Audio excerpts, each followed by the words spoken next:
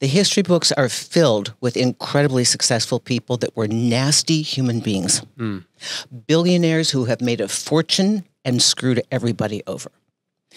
At the end of the day, you and I have chosen a philosophy for the way that we would like to live our lives for us, not for them. To be the person you would be proud to have met here. Mm. Like to that. be somebody you admire. Mm. And that's your North Star. To be honest, Ernie, all of us at some point, no matter how smart we are, no matter how wise we are to the tricks, uh, we will be fooled. We will be betrayed. We will be let down. It's the human condition.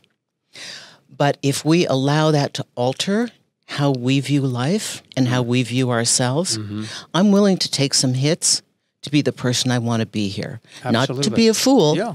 but to understand. And you know what? When you're that kind of person that lives that way, Sure. They'll try and do what they do, but mm-hmm. there are going to be fewer people that do that to you. Mm-hmm.